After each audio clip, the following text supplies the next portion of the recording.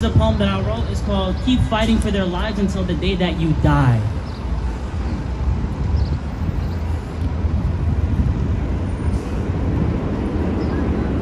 January 1st, 2018, the day that I make the best decision of my life by going vegan and changing my life forever.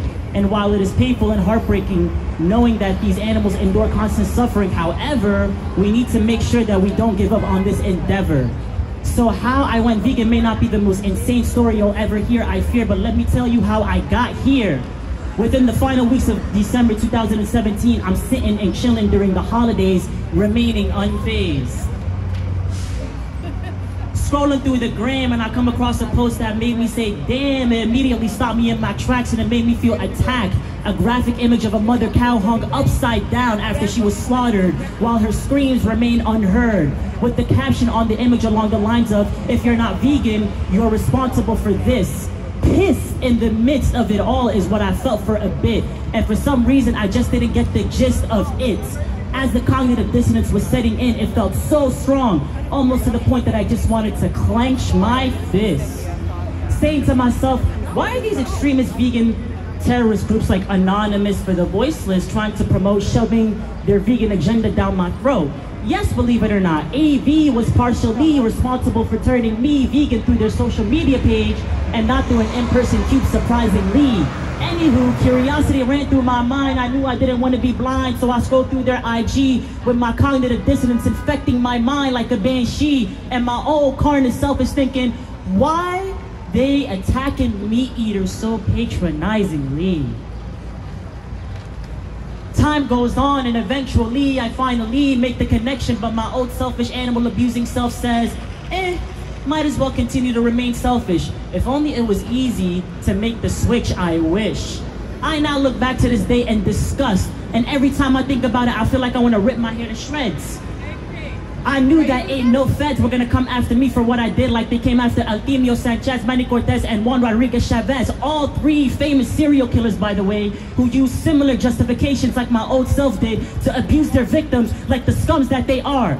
Anywho, the final day of December rolls around and it's almost midnight and I was wondering if I was ever going to make that switch. But like I said so many times to myself, if only it was easy for me to do it, I wish. But out of nowhere, my curiosity was itching, almost to the point where my my body was twitching because OMG, my mind was still racing like a banshee and yet there still might be a chance I can go vegan tomorrow. Only 15 or so minutes left for midnight and looks like my cognitive dissonance was a shoot in my head this time as it ran out of ammo. I scroll through YouTube and I come across a powerful five minute video called Dairy is Scary. And I knew at that moment watching that video was truly necessary. Two minutes in and I can't even finish it because the content in that vid was enough to make you truly disgusted. Only five minutes left till midnight and I knew that once that clock hits, I had to get rid of my selfishness and align my actions with my morals so I can be well adjusted.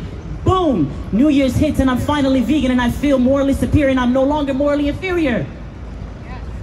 The reason why I am sharing this with all of you is because I want you to see how the carnist mind works when it is confronted with the truth trying everything it can to justify animal abuse to keep the mind soothed. So after my experience, let me tell you one of the most important aspects when it comes to going vegan. So now listen closely. Stop wasting time and thinking about it. Don't let your mind fall in the pit. Put yourself in the animal's position and think about them. Trust me, it will stop making you act so grossly. Documentaries like Earthlings and Dominion should help you do the trick, while videos like Dairy is Scary are also enough to help you with that real quick time flies and goes by, and by next thing you know, I'm wondering, hey, should I do some activism? But then I quickly remembered that there was no way in hell that I was gonna deal with that carnist sophism.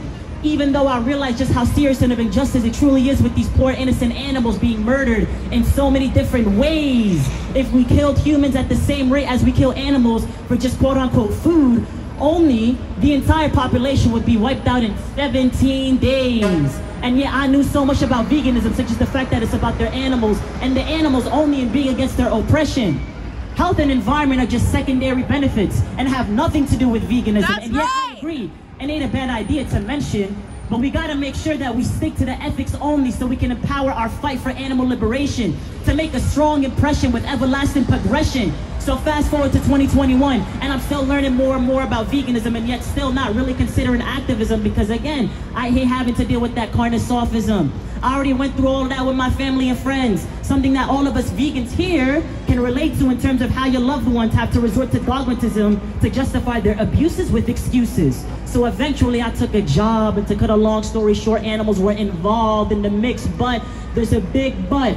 Their rights were not violated sitting here wondering if working that job was vegan, so I went to vegan subreddits. But I was worried that asking them may result in me getting humiliated. Ask, away is all I say. I'm wondering if it's vegan, but yet I still don't want to do this, even though I knew that it was the only way to pay off my debts and to literally feed myself. My brain then switched and I knew that I was gonna do this. I might as well speak up because this injustice ain't gonna stop itself.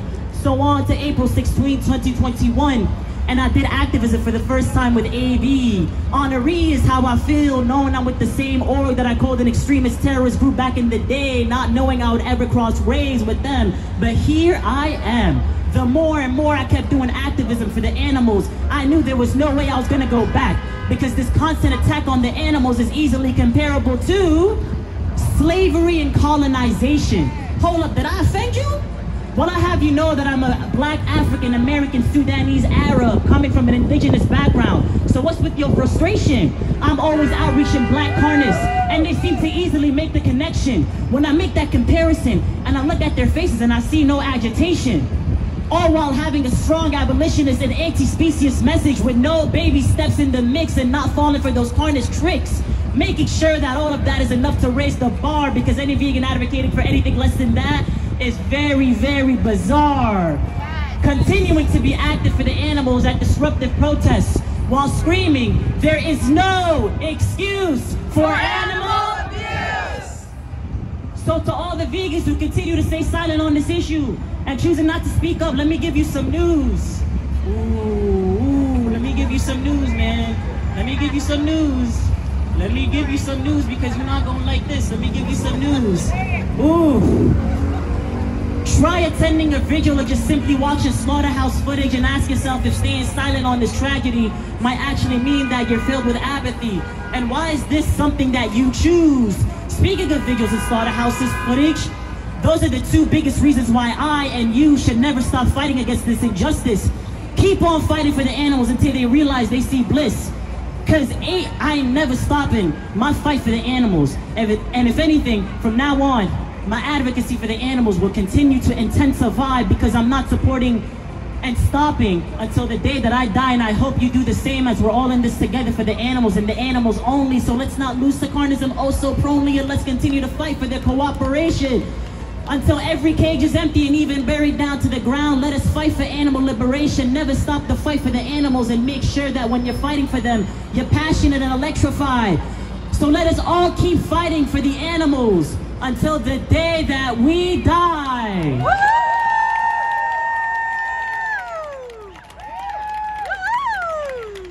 Eating meat, dairy, eggs, and seafood is unnecessary violence, and if you are not vegan, you are directly paying for cruelty to animals. The dairy industry slaughters baby cows, the egg industry grinds up baby male chicks alive. Every single animal product involves slaughter. We don't need animal products, we are better off without them. See the description for evidence to back that claim, and watch the documentary Dominion free on YouTube or at watchdominion.com.